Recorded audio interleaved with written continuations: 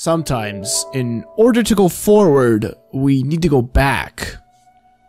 I started gaming when I was like one month old. You're like fucking one month old or something, old bitch. Fuck, you're so fucking bad at this game. You're terrible. What the f, dude? So, you see, I was born in the trenches.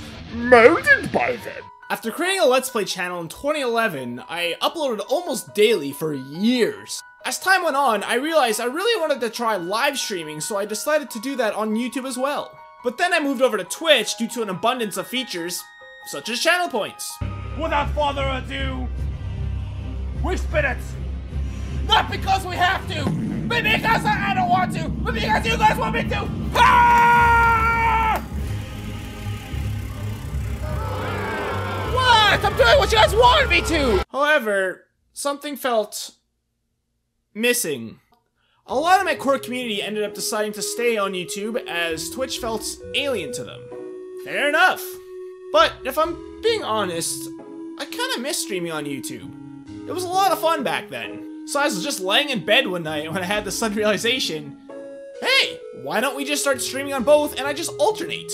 So that's exactly what we're gonna do! Starting this Saturday, January 8th at 6.30 p.m. CST, I'm gonna start my live Let's Play of Let's Play Pokemon Brilliant Diamond. I had to think about the name there for a second. Where you will get to name the Pokemon! Oh my god, this is the most exciting announcement we've ever seen before, Chris. I know that's what you're saying because it's true. So, if you're around during the YouTube days, they're gonna look exactly like that. Now you may be wondering, Chris, what about Twitch? What's gonna happen to your Twitch streams?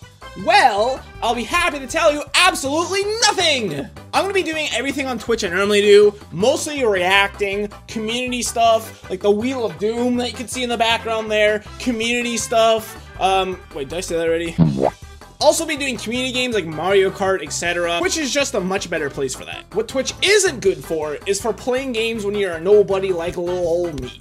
If you want to know exactly when I'm streaming, join my Discord. The link will be in the description and in the top comment down below if you want to know when I'm streaming on Twitch and when I'm streaming on YouTube. Also, if you're not following me on Twitch still, I'll also leave a comment down below. If you've never tried Twitch, try it out. It, it's literally just, it's a better version of YouTube streaming. I'm just gonna say it's way better. Well, I hope to see you there. Bye-bye!